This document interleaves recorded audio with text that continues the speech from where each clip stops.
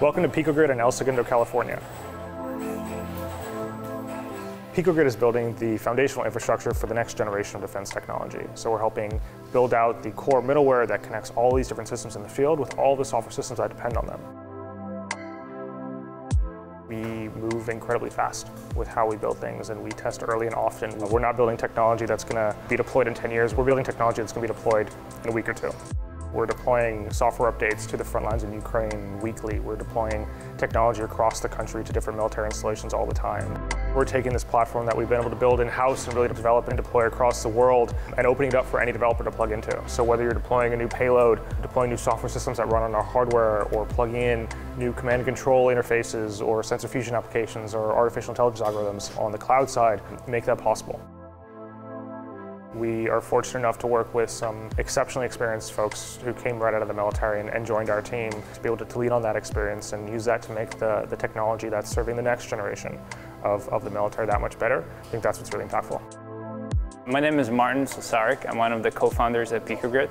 We combine Silicon Valley engineering talent, but also the best of what the military has to offer, which is a critical piece. To have credibility with our customers, with our users, to be able to empathize with them, to be able to really build deep connections, we need to work with people that are coming out of service, and I feel very strong about that. My name is Dan Chirita, I'm the Vice President of Hardware. Over the last several years, we've uh, actually been able to save several lives of people who were stranded in the desert, and the only reason they survived is because they stumbled upon our equipment that was deployed there and was able to detect them and alert us or our customers to go out there and help them.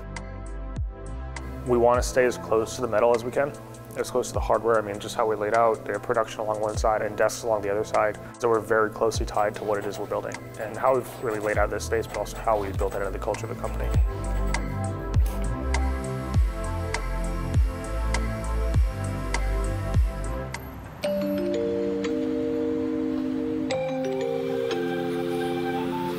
What's interesting about El Segundo is like it's become a meme, but it's it's nothing new.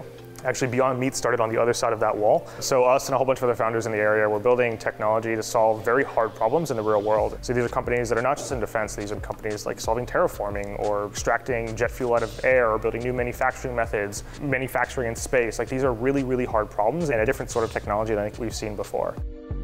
They say that El Segundo is not zoned for SaaS, and I think we, we definitely, definitely buy into that. What gets me up in the morning, right, is, is like the mission matters and the technology we're building today can and will save lives as we scale this up in the future.